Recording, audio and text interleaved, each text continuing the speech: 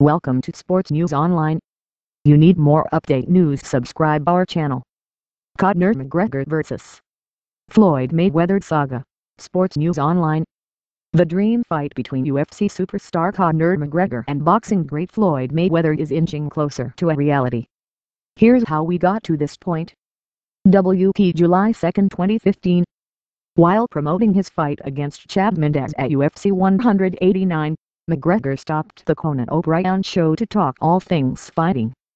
McGregor was asked if he would ever think about taking on Mayweather in a boxing match, and the answer was a resounding, does. If you're asking would I like to fight Floyd Mayweather, I mean, who would not like to dance around the ring for $180 million? McGregor said,